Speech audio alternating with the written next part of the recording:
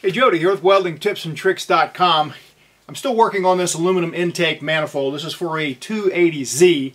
It's an inline 6 and I made some progress on it so that's what we're going to show today. Welding with a couple of different welding machines, different settings, some thick to thin, some thin to thin, that sort of thing. The, the fuel rail bungs here, I've got a fixture that, that's going to line those up, so I'll probably have to cut a few of those and move them around.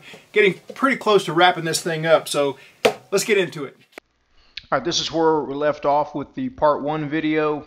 Got everything tacked up, the main part of it anyway here, and got one side of the flanges welded, and I used the, the Everlast 255 EXT for that.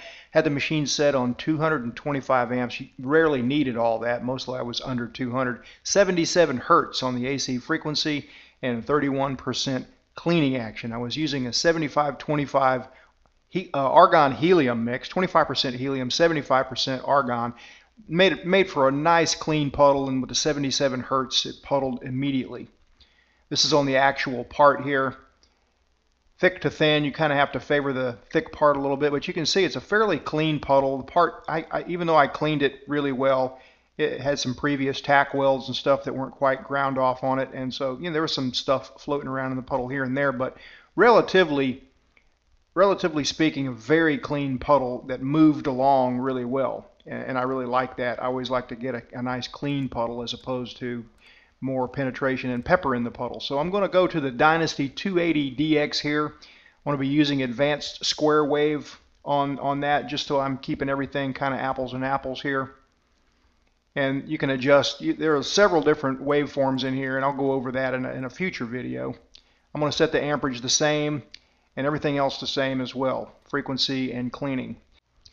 Now I don't have a cooler hooked up to the Dynasty yet, so I have to use this air-cooled torch.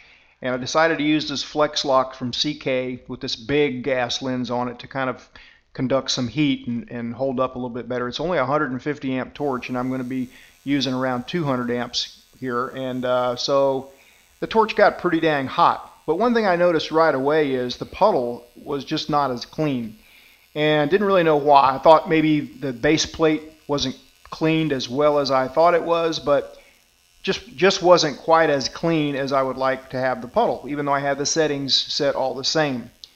And I really kind of think that I have a small leak somewhere, somewhere either in the torch fittings or somewhere, because here's here's the way that puddle looked. Just some oxide films floating around. You see the bottom the bottom plate even though I cleaned it with chemical aluminum cleaner and a, and a Scotch-Brite pad and then acetoned it really well, it's just got some oxides floating around in the puddle that I don't really like to see. It did the job okay, but I'm going to swap torches, eh, not quite yet, but in a minute I'm going to swap torches and see if I can get to the root of that problem. Right now though I'm going to go ahead and it's, it's welding good enough that I'm going to go ahead and tack weld this little sheet metal split tube for the top of it. And I'm just going to clamp it down and get a place that matches up, clamp it down against a flat surface. You can see there's some gaps there, so it's not really a perfect cut. I'm going to have to deal with that later, but I'm just kind of using those clamps alternately to massage it and get get the high-low, the mismatch out of out of it and get several tacks on it so that I can get it tacked up here. I had to get it to this point so I could take it to the guy kind of for a, uh, you know, kind of a buy off on it before I went further and also get this piece of sheet metal from him. This is 16 gauge, so it's 063 thickness. And I've got a little bit of work to do to make it fit up as, as good as I can. And originally he was going to go with this tread plate, and he decided to go with the smooth. I'm kind of glad he did. I think it's going to probably look better with the smooth. But since I've got that tread plate, I decided to go ahead and, and see if I can swap torches and make a clean weld so I, I, set it down to 100 amps here, balance on, still balance on 69 just like before, but I adjusted the frequency to 100 and uh, we're going to get a little quick tack weld on here and then do a little bit of welding on this on the sheet metal just to see. Now I'm, I've swapped torches, I'm using a different cup mainly just for filming purposes, but right away nice clean puddle.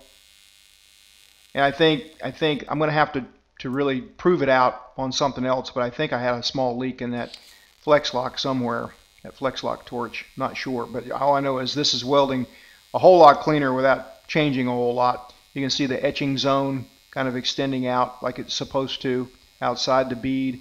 The puddle is, is nice and shiny and wet and clean and moves along really easily. And uh, so this is a 150 amp torch as well with a valve on it, even though I don't need the valve. But it's doing pretty well. I just decided I might as well film this since I was trying to trying to figure out my problem. Probably not a good idea to change so many things. I changed torches, I changed cups and everything, so I'm going to have to go back and try to figure out what the issue was exactly. But this is a Pyrex cup. I don't use them normally for just everything, but it, it is good for filming for me. And it does let you see all the way up inside, and see the tungsten, and, and if it's remaining silver, you know you're at least not in too bad a shape on your argon shielding gas. All right, so let's move on now. All right, so I'm swapping back to this machine. This is sent to me for testing and evaluation, so I'm testing and evaluating it here. And uh, I'm changing the amperage down to about 100, and I'm going to change a few settings. The AC balance, I'm going to leave at 31% cleaning. Notice that that's backwards from what the Dynasty is. Dynasty reads 69% uh, EN. This is actually reading the electrode positive portion. And I'm setting the start amperage up around 20. And uh, I had a few little stutters on the start on this machine, so I'm just kind of experimenting with the start amperage. I'm not really sure it's even doing anything. But uh, first thing I've got to do is sand this thing off. Get a, get a nice smooth straight edge here as straight as possible. I'm not going to try to get it perfectly straight because I'm going to scribe a line anyway.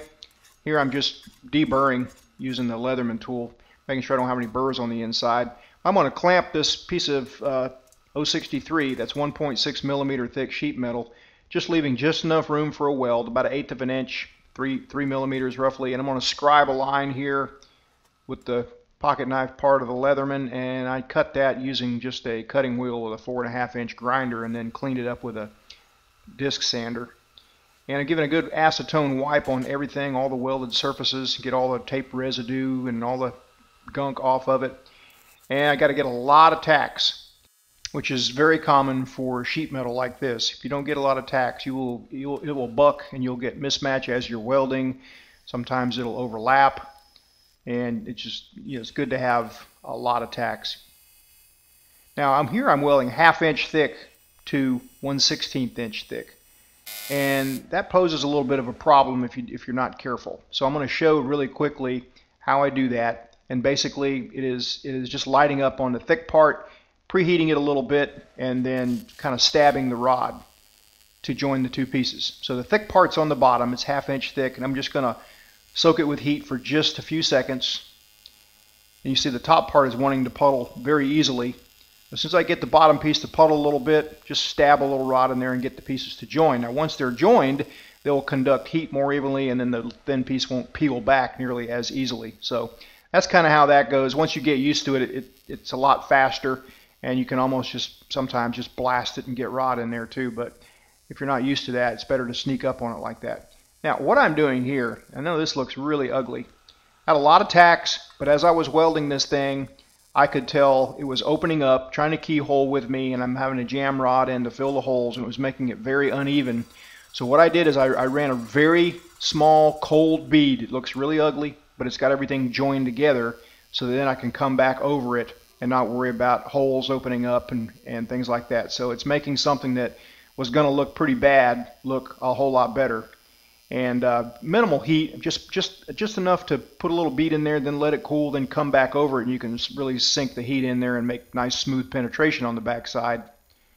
A lot more than you can with uh, gap, where it'll try to keyhole and be all uneven. Now this is a much better fit here, so I'm not having to do that, and it's coming out okay.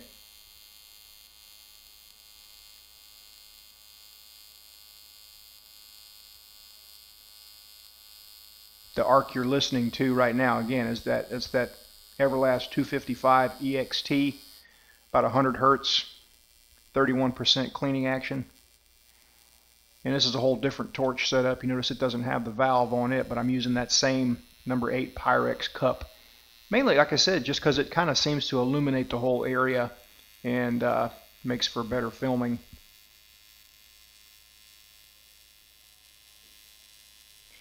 I could almost make this whole run if I didn't run out of rod, if I wasn't filming. and wanting to stop and get different angles. I could make this whole run with uh, without stopping, which is kind of what you want to do if you can a lot of times, not always. Sometimes you want to stop, reposition, change the heat, sequence the bead differently, but you know, being able to drag a TIG finger along a nice smooth aluminum surface like that really helps a whole bunch. I'm getting ready to weld around this thing now, and what you need to have in mind here is rotating the torch. Each time, each time you come out of the puddle with that rod, basically, you need to, in your mind, rotate the torch a little bit. Otherwise, you get too much torch angle really quickly on a round part, and it's worse with small diameter stuff. So you just keep it in mind. If you don't keep it in mind, it's easy to get out of out of scope. But if you keep it in mind every every dip to kind of rotate, clock the torch around, and kind of aim for the center of the tube or the pipe, it really it really helps things go a whole lot better.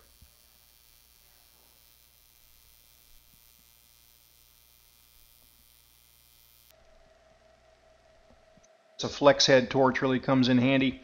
So I'm going to bend it a little bit and it helps me keep the right angle and you can see I can just prop my TIG finger there where there's no great place to prop and I can just kind of twist my wrist around without my finger cooking and make the weld a whole lot better than I could without it.